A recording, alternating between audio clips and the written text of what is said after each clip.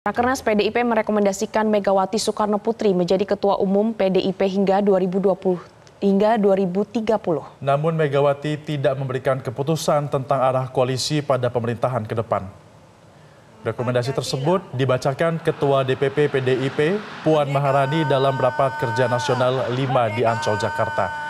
Menurut Puan, Rakernas 5 menghendaki bahwa Ketua Umum Megawati Soekarno Putri untuk dapat diangkat dan ditetapkan kembali sebagai Ketua Umum PDI Perjuangan periode 2025-2030 karena PDIP membutuhkan keteguhan kepemimpinan partai di dalam menghadapi transisi pemerintahan ke depan. Salah satunya dengan menentukan arah koalisi, kendati demikian Megawati tidak memberikan pernyataan tegas apakah akan berada di dalam atau di luar pemerintahan. Gitu loh. Ini kan juga kan sikap politik partai berada di dalam atau di luar pemerintahan gitu kan. Lah iya, lo enak aja. Kalau menit ini saya ngomong, hihi. Kan harus dihitung secara politik, no. Enak aja. Aku sambil sarapan gitu kan. Aku bilang, enak aja ya dong gua mainin dulu dong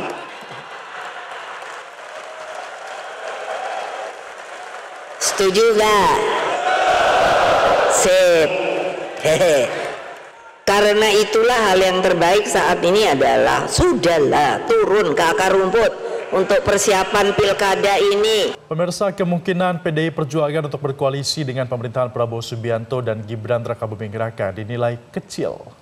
Pasalnya aroma amarah telah terlihat pada rangkaian rapat kerja nasional kelima PDI Perjuangan.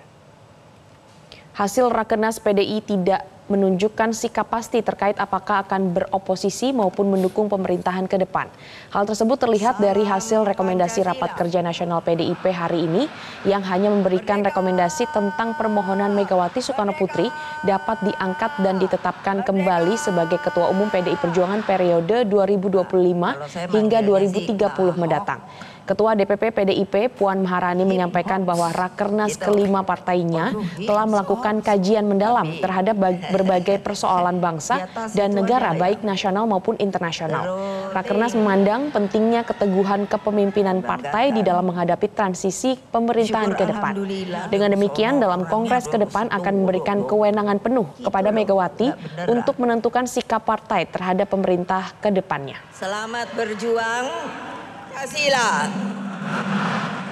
Setelah mendengarkan pandangan umum DPD PDI Perjuangan se-Indonesia, memohon kesediaan Profesor Dr. Megawati Soekarno Putri untuk diangkat dan ditetapkan kembali sebagai Ketua Umum PDI Perjuangan periode 2025-2030 pada Kongres ke-6 tahun 2025. Pemirsa mantan calon Presiden Ganjar Pranowo memastikan sikap PDI Perjuangan akan ditentukan dalam Kongres PDIP tahun 2025, apakah oposisi atau mendukung pemerintahan Prabowo Gibran. Meski demikian, Ganjar menegaskan ke depan pemerintah harus bisa bersikap adil terhadap partai yang ada di luar pemerintahan dan juga yang di dalam pemerintahan.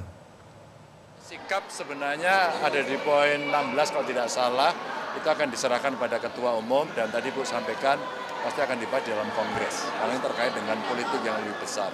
Tapi ada poin kedua dari uh, rekomendasi tadi saya kira menjelaskan dengan sangat bagus sekali bahwa mendorong pemerintah agar membuat regulasi yang adil terhadap partai yang berada di pemerintahan dan di luar pemerintahan. Saya kira pasti teman-teman sangat bisa membaca soal itu dan satu persatu tadi Mbak Puan membacakan dengan sangat bagus. Kita menilai bagaimana pelaksanaan pemilu kali ini, di mana butuh uh, perbaikan di sana sini. Dan saya kira itu sudah menggambarkan sikap politik yang ada di PDI Perjuangan meskipun nanti resminya ketua Mantan Gubernur Jakarta Basuki Cahayapurnama alias Ahok mengaku sudah ada pihak yang mendorong dirinya untuk maju sebagai cagup di Pilkada Sumatera Utara. Ahok mengaku akan taat dan patuh dengan keputusan partai jika nantinya ditugaskan di Sumatera Utara. Hal tersebut disampaikan Basuki di sela, sela Rakernas kelima PDIP kemarin, meski belakangan berhembus isu bahwa sudah mendapat restu dari Ketua Umum PDI Perjuangan Megawati Soekarno Putri, Basuki Cahaya Purnama belum mau mengisyaratkan penugasan tersebut untuk pilkada. Ahok lebih menafsirkan arahan Megawati menjalankan program-program strategis partai, mulai dari pendidikan hingga sosialisasi kepada pengurus teras, kader potensial hingga akar rumput. Sebelumnya secara spesifik, pada penutupan Rakernas, Megawati mengatakan telah menyiapkan tugas baru untuk Basuki Cahya Purnama. Sih bisa ada orang Saya kira ya DPD terima kasih, tapi kan penugasan kan dari partai ya nanti ya. Kita lihat aja, saya nggak tahu. Bilang Bapak meminta tugas-tugas seperti apa Pak yang diberikan hari ini? Waktu pembicaraan sih intinya Ibu tuh gini, ini kan partai pelopor.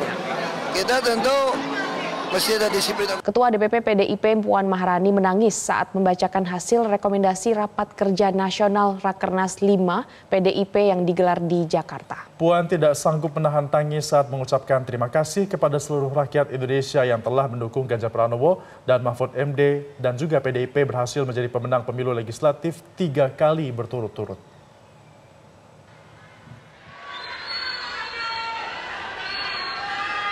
Yang telah dipercaya rakyat memenangkan.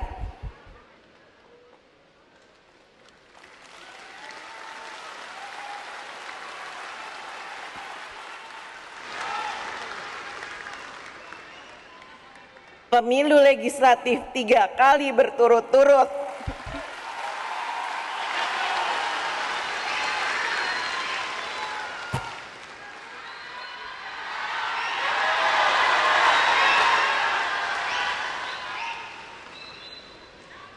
kepercayaan rakyat ini harus diwujudkan untuk memperbaiki tiga pilar partai, struktural, legislatif, dan eksekutif. Jelajahi cara baru mendapatkan informasi. Download Metro TV Extend sekarang.